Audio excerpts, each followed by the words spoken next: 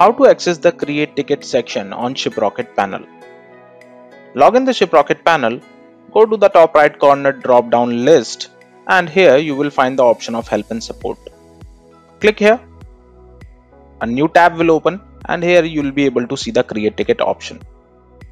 You can also access the create ticket section by going to the support panel on the left hand side and clicking on the help and support feature.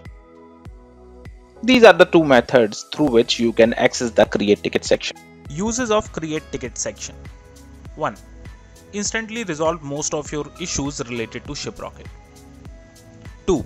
Raise a callback request with our live support team. 3. Register your complaints such as pickup, delivery, tracking, cancellation, refund, etc.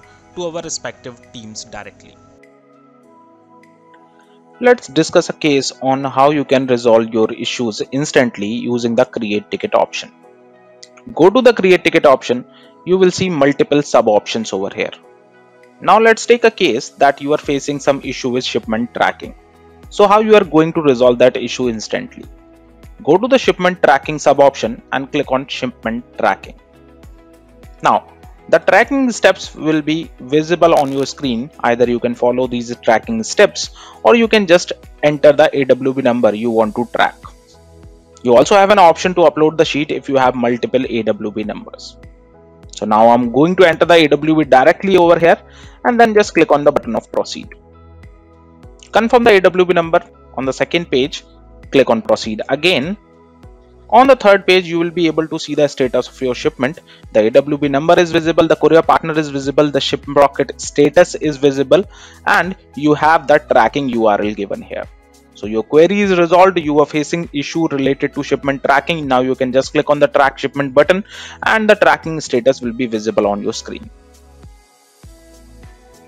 if you have any other issue if your query is still not resolved you have the option of click here. You can just click on this button and the callback request will be raised. Let's check out a case on how you can register your complaints to our team directly using the create ticket option. Go to the create ticket panel and you will see multiple sub options over here.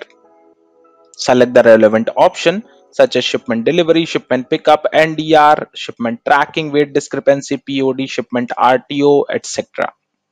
Now, let's assume that the courier denied for the pickup of your shipment and you want to escalate this case.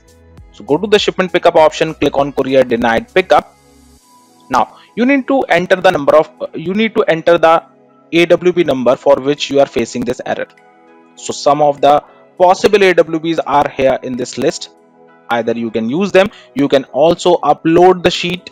If you have multiple awbs you can upload the sheet or you can just delete all these awb and enter the relevant awb in this section just like this. Now click on proceed confirm the awb which you are talking about and again click on proceed. On the third page you can see the status you can see the AWB number, courier partner, manifest ID, manifest status. I mean all the details of this particular shipment. Now, what you need to do is check out the Shiprocket remarks. Here we have mentioned that we request you to state your reason, remarks, and we will escalate your case. So select the relevant reason, enter the remarks if you have any, select the AWB number and then click on submit your ticket has been successfully created. The ticket number is visible on your screen. Now the tat is also visible that please allow us 24 to 48 hours for a response. But if you still think that your query is urgent you can also call us on this number or you can arrange a callback request as well by just clicking on the button of click here. Just like this and the seller support team will call you back